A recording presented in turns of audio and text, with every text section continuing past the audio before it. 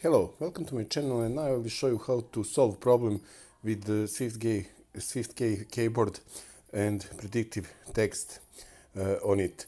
Uh, simply there is no solution for delete uh, this bar uh, but there is uh, one perfect uh, solution so as you see there is a SwiftKey keyboard and also this keyboard is not pra practical for me because uh, because uh, letters are uh, too close to each other and uh, simply I often miss, miss uh, letters. So what you have to do?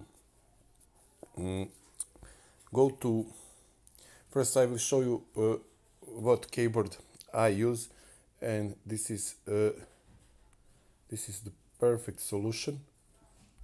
Go I will change now to Gboard and uh, you will see now this is the right keyboard and perfect uh, uh, Google keyboard.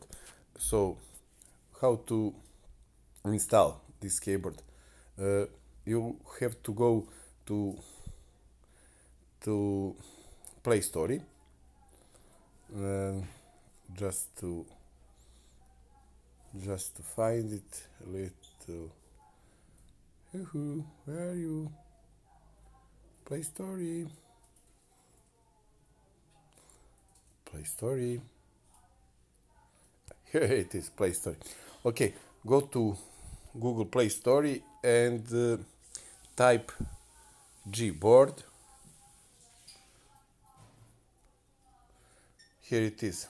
Gboard Google keyboard and uh, just you have to click to install and install this keyboard. After that uh, go to settings scroll down until you see system navigation update language input. So uh, then go to language and input, input default keyboard and just select select Gboard keyboard. And your suffering will finish. Okay. Uh, thank you for watching this video. If it was useful for you please like it share it. And of course leave me the comment in the comment section below. It means a lot to me. See you soon with new tutorial